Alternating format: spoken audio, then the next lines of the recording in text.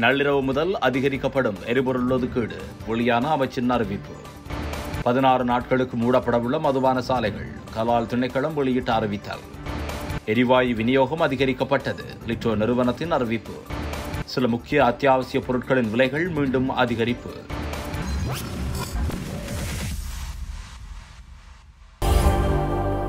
இன்று நள்ளிரவு முதல் நடைமுறைக்கு வரும் வகையில் தேசிய எரிபொருள் ஒதுக்கீட்டை அதிகரிக்க அரசாங்கம் தீர்மானித்துள்ளது. இதன்படி மோட்டார் சைக்கிளுக்கான தற்போதைய ஏழு லிட்டர் எரிபொருள் ஒதுக்கீட்டை பதினான்கு லிட்டராக அதிகரிக்க உள்ளதாக மின்சக்தி மற்றும் எரிசக்தி அமைச்சு தெரிவித்துள்ளது. பதிவு செய்யப்பட்ட முச்சக்கர வண்டிகளுக்கான பதினைந்து லிட்டர் எரிபொருள் ஒதுக்கீட்டை இருபத்தி இரண்டு லிட்டராகவும் சாதாரண முச்சக்கர வண்டிக்கு எட்டு லிட்டராக இருந்த எரிபொருள் ஒதுக்கீட்டை பதினான்கு லிட்டராகவும் அதிகரிக்கவும் தீர்மானிக்கப்பட்டுள்ளது. முப்பது லிட்டராக இருந்த காருக்கான எரிபொருள் ஒதுக்கீடு நாற்பது லிட்டராகவும் வானொன்றிற்கு வழங்கப்பட்டு வழங்கப்படும் வந்த எரிபொருள் ஒதுக்கீடு முப்பது லிட்டரிலிருந்து நாற்பது லிட்டராகவும் அதிகரிக்கப்பட்டுள்ளதாக குறிப்பிடப்படுகிறது மேலும் பேருந்துகளுக்கு அறுபது லிட்டராக இருந்த எரிபொருள் ஒதுக்கீடும் இன்று நள்ளிரவு முதல் நூற்றி இருபத்தி ஐந்து லிட்டராக அதிகரிக்கப்பட்டுள்ளது. எழுபத்தி ஐந்து லிட்டராக இருந்த லொரிகளுக்கான எரிபொருள் ஒதுக்கீடு நூற்றி இருபத்தி ஐந்து லிட்டராக அதிகரிக்கப்பட்டுள்ளதாகவும் மின்சக்தி எரிசக்தி அமைச்சர் கஞ்சன விஜயசேகர தெரிவித்துள்ளார். கதிர்காமம் பிரதேச செயலக பிரிவில் அமைந்துள்ள அனைத்து மதுபான சாலைகளும் பதினாறு நாட்களுக்கு மூடப்படும் என கலால் திணைக்களம் தெரிவித்துள்ளது. வரலாற்று சிறப்புமிக்க ருகுணு கதிர்காமம் விகாரையின் எசல திருவிழாவை முன்னிட்டு அப்பகுதியில் உள்ள மதுபான கடைகள் மூடுவதற்கு தீர்மானிக்கப்பட்டுள்ளது. அதன்படி ஜூன் பத்தொன்பதாம் தேதி முதல் ஜூலை நான்காம் தேதி வரை மதுபான கடைகள் மூடப்படும். இந்த காலப்பகுதியில் எசல திருவிழா காலத்தில் திருவிழா நடைபெறும் இடத்தை இலவச காணியாக மாற்றுவதற்கு தேவையான அனைத்து நடவடிக்கைகளையும் மேற்கொள்ளுமாறு உவா மாகாண கலால் அதிகாரிகளுக்கு பணிப்புரை விடுக்கப்பட்டுள்ளது. மேலும் வரலாற்று சிரமமிக்க ருகுணு கதிர்காமம் விகாரைக்கு வரும் பக்தர்களுக்கு வெளியில் வெளியிலிருந்து மதுபானம் மற்றும் போதைப் பொருட்களை கொண்டு செல்வது முற்றாக தடை செய்யப்பட்டுள்ளதாக கலால் திணைக்களம் தெரிவித்துள்ளது.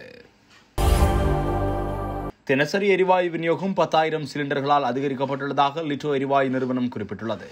எரிவாயுக்கான நாளாந்த கேள்வி அதிகரித்துள்ளமையின் காரணமாக இவ்வாறான எரிவாயு விநியோகம் அதிகரிக்கப்பட்டுள்ளதாக அந்த நிறுவனத்தின் அதிகாரி ஒருவர் குறிப்பிட்டுள்ளார்.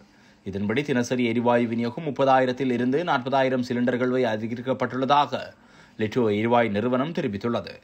இந்த நிலையில் எரிவாயு விநியோகத்தை அதிகரிக்க சப்புவஸ்கந்த மாபிம பிரதேசத்தில் புதிய எரிவாயு முனையம் ஒன்று உருவாக்கப்பட்டுள்ளதாகவும் அந்த அதிகாரி மேலும் குறிப்பிட்டுள்ளார். சில அத்தியாவசிய பொருட்களின் விலைகள் மீண்டும் அதிகரித்துள்ளதாக உணவக உரிமையாளர் சங்க தலைவர் அஸ்வேல ஜம்ப தெரிவித்துள்ளார். அதன்படி கோழி இறைச்சி மீன் மற்றும் தேங்காய் ஆகியவற்றின் விலைகளை இவ்வாறு அதிகரித்துள்ளதாக கூறியுள்ளார். நேற்றைய தினம் கொழும்பில் இடம்பெற்ற செய்தியாளர் சந்திப்பிலேயே இவ்விடயத்தை குறிப்பிட்டுள்ளார். இது தொடர்பில் அவர் மேலும் கூறியுள்ளதாவது ஆயிரத்தி இருநூறு ரூபாவாக இருந்த ஒரு கிலோ கோழி இறைச்சியின் விலை ஆயிரத்தி ஐநூறு ரூபாய் முதல் ஆயிரத்தி அறுநூறு ரூபாய் வரையான விலைக்கு விற்பனை செய்யப்படுகிறது. அத்துடன் சந்தையில் மீனின் விலையும் அதிகரித்துள்ளது. பேலியகொட மீன் சந்தையில் கெலவல்லா கிலோ ஒன்று ஆயிரத்தி தொள்ளாயிரம் ரூபாவிற்கும் பலையா மீன் கிலோ ஒன்றிற்கு ஆயிரத்தி நானூறு ரூபாவிற்கும் விற்பனை செய்யப்படுகின்றன என்று அறிவிக்கப்பட்டுள்ளது.